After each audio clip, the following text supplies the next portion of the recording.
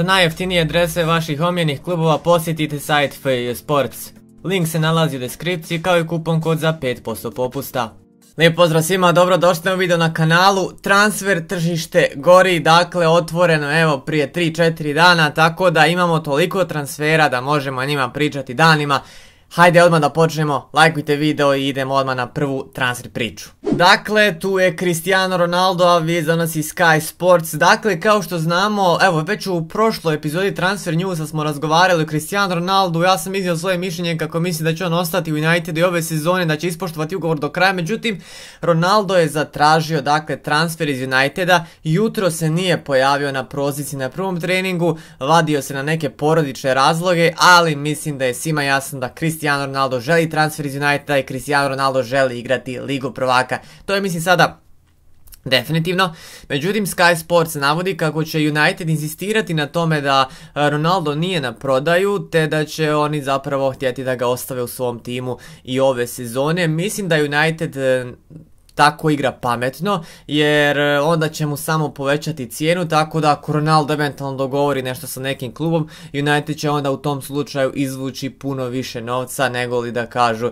ajde možeš ići pa dajte nam neku siću. Spominjali su se neki klubovi, najviše se nekako pisalo o ekipi Bayerna, iskreno mislim da bi e, Ronaldo pa, pa da je Bayern baš u ovom momentu karijere pravi klub za njega jer on bi tu mogao na primjer zamijeniti ako ode Robert Lewandowski pa onda on baš da igra tog čovjeka koji je igrao Lewandowski sam da postiže golove, e, liga je lagana, siguran sam da bi postigao dosta golova, Bayern je u ligi prvaka uvijek među favoritima tako da mislim da bi se on odlično uklopio u Bayern ali gledajući sada politiku Švaba E onda već e, ta visoka plata i futbaler kao što je Cristiano Ronaldo koji želi svu pažnju na sebe, to se baš i ne uklapa sa njemačkim mentalitetom, tako da sa, sa te strane se sigurno ne bi uklopio. Naravno vijest ponovno donosi Sky Sports, onda se tiče Alessia Romagnolija, dakle on napušta Milan kao slobodan futbaler, a Fulham je navodno zainteresovan za njegove usluge. Iskreno mislim, vjerovatno jeste Fulham zainteresovan, ali ne vjerujem baš koliko je Romagnoli zainteresovan za tu opciju mislim da može puno više od ovog tima koji će vjerovatno ponovo biti u grčevitoj borbi za opstanak u engleskoj premier ligi, ali o tom potom vidjet ćemo. Sky Sport donosi narednu vijest, dakle Atletico Madrid želi dovesti Federica Bernadeskija kome je istekao ugovor sa Juventusom. Iskreno, u, u, na vrhu napada kod Atletico Madrida dosta ima tih futbalera koji mogu pokriti te pozicije, ali evo, Simeone očigledno želi još jednog takvog. Jedna je revolucija u Juventus, imat ćemo dosta vijesti o Juventusu u ovoj epizodi Transfer Newsa, tako da, evo, Bernardeski također napušta tim, odnosno nije potpisao novi ugovor, tako da vidjet ćemo da li će to biti Atletico ili neki drugi klub. Naravno, vijest, Staron Sunday donosi, dakle, Arsenal i Manchester United vode bitku za potpis Serža Gnabrija iz Bayerna za 40 miliona funti. Dakle, u pitanju su funte, tako da ovo je otprilike nekih 50 miliona eura. Tako da iskreno mislim da je ovo mnogo novca.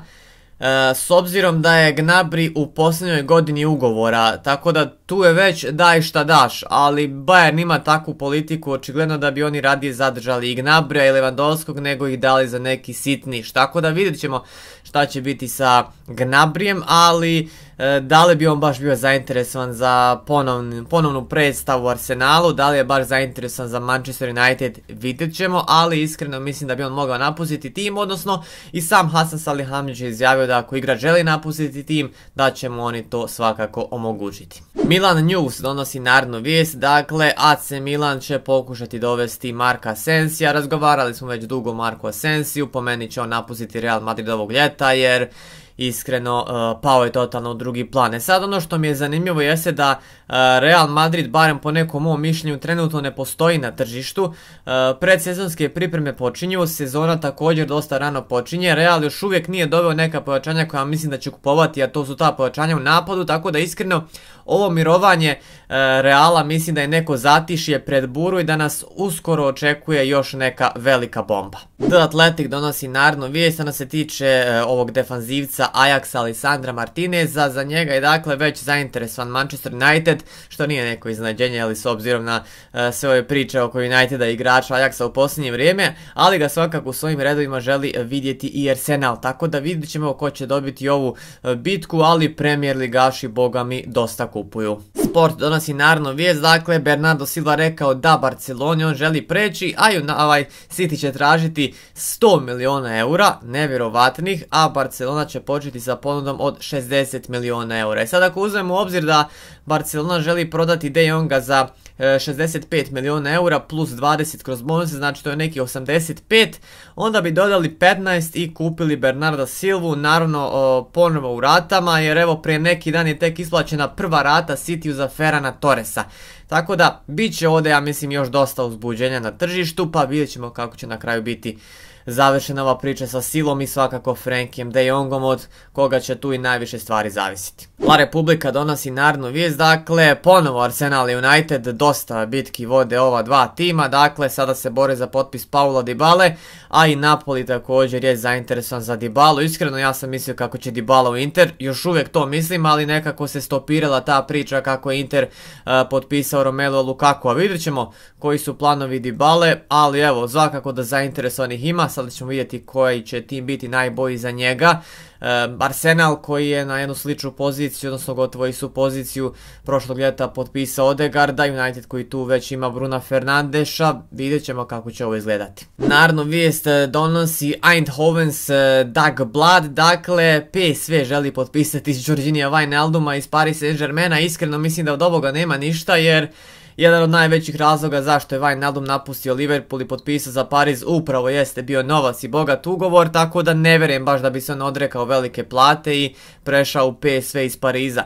Opet e, mislim da i u Parizu i u novoj sezoni neće dobiti neku priliku, tako da vidjet ćemo šta će biti sa Wijnalduma. Da li će sjeti na klupi, eventualno neka posudba ili nešto treće, svakako ćemo vidjeti. The Athletic donosi narednu vijest, dakle, Christian Eriksen je navodno postigao dogovor sa Unitedom oko trogodišnjeg ugovora, te će i se pridružiti. E, ovo je iskreno iznenađenje, zašto? Zato što smo imali prehodno prije nekoliko sedmica vijesti kako je on odbio i kako neće da pređe u Manchester United, ali mislim da je tu ključnu ulogu odigrao Erik Ten Hag, tako da ne isključujem da bi se ovo moglo potvrditi u narednim danima, odnosno da bi Eriksen mogao biti već predstaven na Old Traffordu. Naravno vijest donosi Gerard Romero, definitivno najpouzdaniji novinar kad je Barcelona u pitanju, to je sigurno.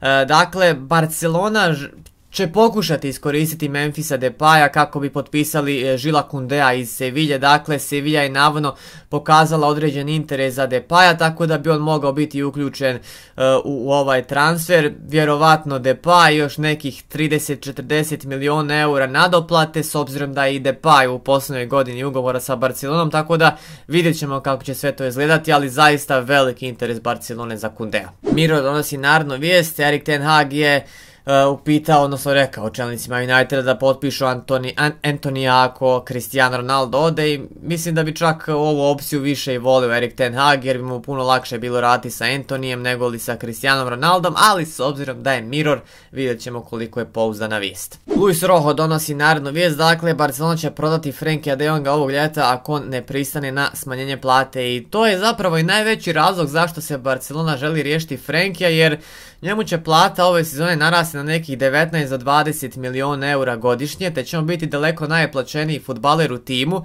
To je nešto što pravi velike probleme Barceloni, a nije da Frenkie de Jong pravi neku ogromnu razliku na terenu u smislu da je Leo Messi sad, pa da vam se isplati držati igrača sa baš tolikom platom i tolikim odstupanjem od svih ostalih igrača.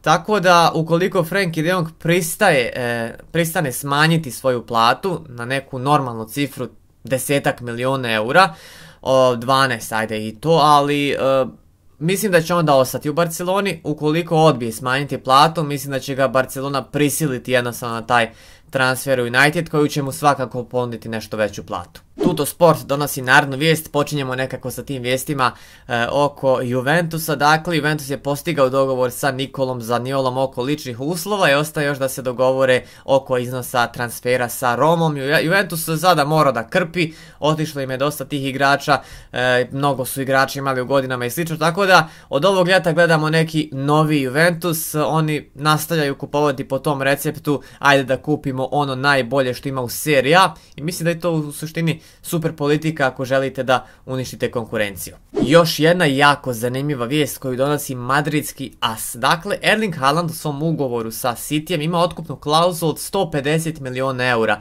Međutim, ta klauzula će biti aktivna tek na ljeto 2024. godine, tako da ako neko 2024. godine pošalje pond od 150 milijuna eura za Haalanda, City je mora prihvatiti i onda je sve do Haalanda da li on želi napustiti tim ili ne, ali As navodi kako je to plan Real Madrida da baš za te dvije godine, dakle ne, dakle onog tamo ljeta 24. potpiše Haalanda kao zamjenu za Karima Benzemu za 150 milijuna eura. Ako Haaland e, do, za te dvije godine izraste u jednog sjajnog vrhunskog napadača, još boljeg nego što je sada naravno, onda će ovo biti prava sića, tako da vidjet ćemo šta će se desiti, ali nažalost tek za dvije godine. La štampa donosi naravno vijest, dakle Juventus e, jako, jako radi na transferu Kalidu Akulibalija i pripremaju se na život nakon Matisa Delita koji će kako sada stvari stoje napustiti tim ovog ljeta. Napoli želi prodati defanzivca zato što on ima još samo jednu godinu ugovora. Ovaj drug, s ovim drugim dijelom vijesti se ne bi složio jer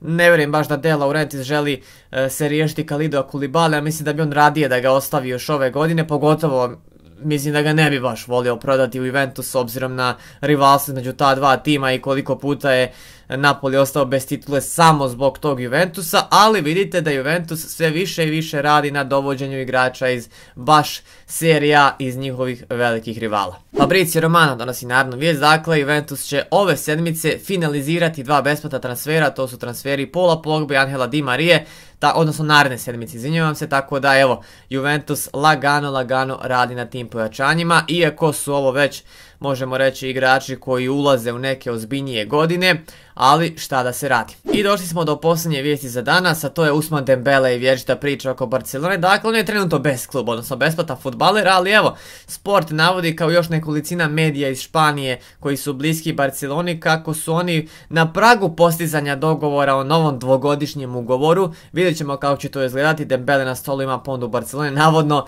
i nema baš mnogo ponuda ostalih timova kao što se on nadao, tako da na kraju će kako sada se piše, ipak Dembele ostati u Barceloni, ali ovo ne bi trebalo imati nikakav utjecaj na transfer Rafinje o kome se također dosta piše evo Romero baš danas navodi kako su šanse da Rafinja iz lica dođe u Barcelonu sada 98%. Pa eto, vidjet ćemo svakako i šta će biti od toga. Tako da, to je bilo to. Hvala što ste pogledali ovaj video. Vidimo se vrlo uskoro na ovim videima. Do tada, lijep pozdrav!